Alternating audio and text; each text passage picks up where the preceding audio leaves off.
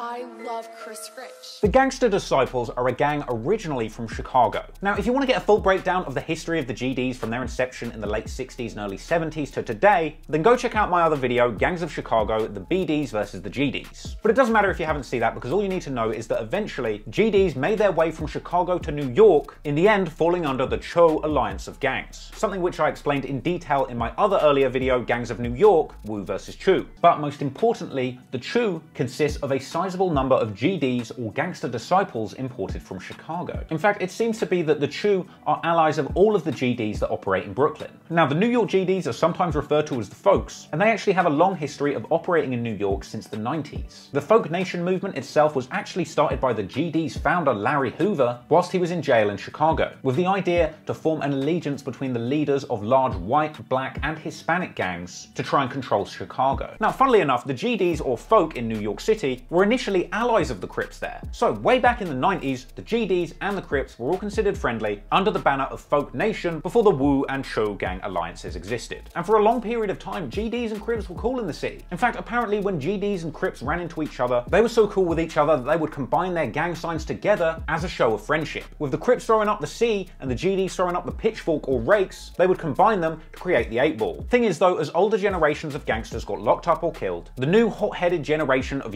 younger gangbangers would emerge, creating new alliances and traditions whilst trashing old ones. In 2014, the leader of the modern day folk nation in New York, aka the Six Trey Outlaw Gangster Disciples, Devon Rodney, also known as D Block, was sentenced to 20 years after a RICO case that included attempted murder and robbery conspiracy. Authorities believe the crew is behind four murders, three attempted murders, and a string of assaults and robberies.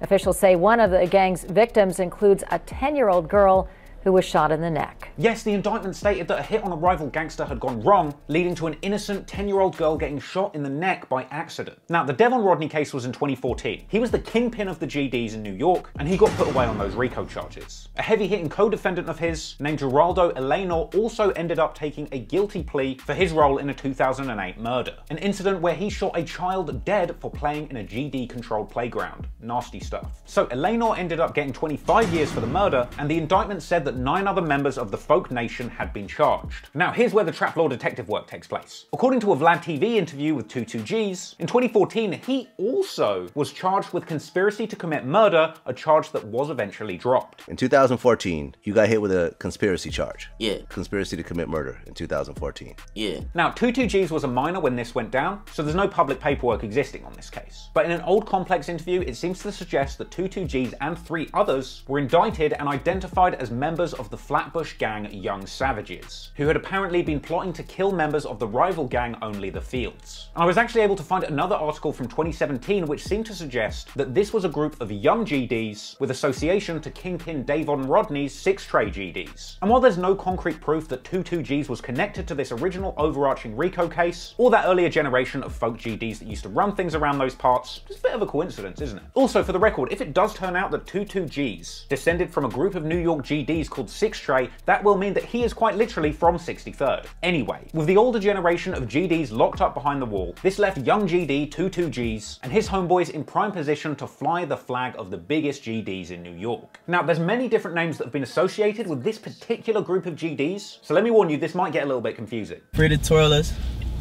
free the blickies. Shout out to the Shiggies and the Chos. Okay, let me break it down for you. With the New York GDs and the Cho gangs, there's a lot of overlap. Just like over on the Wu side of things, you got Crips and Bloods coming together to bang under the Wu Alliance. Over on the Cho, you got crews like the GDs or Folk, as well as the Hood Stars who have historically beefed with the Wave Gang of the Wu, crews that aren't really relevant to this story. You've also got Cho crews like No Love City, who are known to have historically beefed with Bobby Shmurda's GS9 Crips. There's crews like PNV, home to Cho rapper PNVJ, but most importantly, under the GDs is the Twirl Alliance. Now, Envy Kane of the GDs said that Bills Blicky was the originator of the Twirl idea, but he refused to say exactly what it meant. And talk about this, man. What's the difference? You the twirlers. I look. Free Bills Blicky, for me.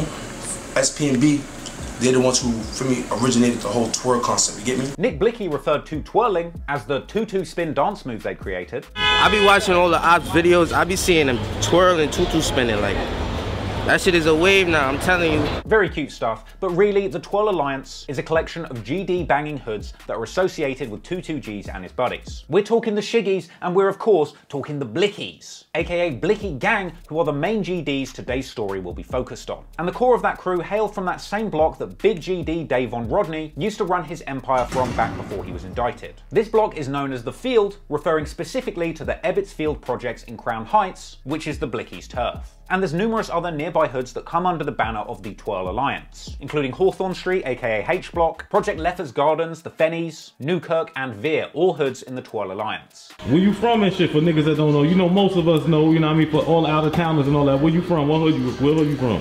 From Flatbush, No doubt. H Block, Fenny, Fields, Kirk, Veer. Know where to find me, bro. You feel me? See the bros in the building. BB. Shout out to my BB guys, my ZG guys, my TD guys. So the name Blicky Gang is taken from New York slang meaning handgun. Or you might remember Blickies being popularized by our boy 6 9 who famously said that he's got the Blicky with the stiffy on his hit song Gummo. However, the big difference between these Blickies and the ones that 6 9 was dropping in his lyrics is that when these Blickies write their names down, they X out the letter C in their name, of course because they hate Crips so goddamn much. While the Crips have got their blue rags and the Bloods have got their reds, the Blickies are coming through on a much more stylish tip, instead choosing to rep black flags and bandanas, something that 22Gz has shouted out on many songs. Now, the Blickies have also appeared in numerous hood vlogs chilling on their block, including one with legendary Chicago hood documentarian Zack TV, rest in peace, which was titled The Blickies, the most hated gang in Brooklyn. You in Ebbets Field right now, you in the fields. If you ain't from here, don't come here. You niggas know what's up. We're in the Jacks. You in the headquarters. in the Jacks with the demons. What's your name for the camera, man? For a motherfucker that don't know. Niggas that don't know me, my name is Nas Blicky, right? Mmm.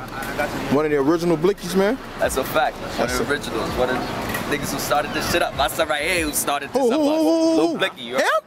Hey! We even make drill music. We really talk about shit we do. When he say he got 30s and 40s and max, we not lying. That's all we gonna say. If you ain't from around here, don't come here. It's funny, in this vlog they even do a little roll call, like it's the start of GD class or something, just in case the feds didn't have enough evidence on them. That's not Blicky. Got it, Blicky. Luke Blicky. Stone Blicky. Richie Blicky. Sasa Blicky. Sasa Blicky. Key Blicky. Bigger Blicky. Sprout Blicky. Jew Blicky. Sticks Blicky. That's the ghost. You call him ghost. Okay. However, the main characters for the purpose of this story are 22Gz, Nick Blicky, Nas Blicky, Lou Blicky, and Envy Kane. So, now you know who runs the streets of New York on both sides of the fence, you need to understand exactly why these two groups hate each other. And the insane reality is that the majority of the deadly beef between these two groups has been caused by a simple but powerful three letter phrase. A phrase so powerful that saying it in the wrong block of New York or even Chicago could get you duly blammed in the face without warning. I'm, of course, talking about DPK.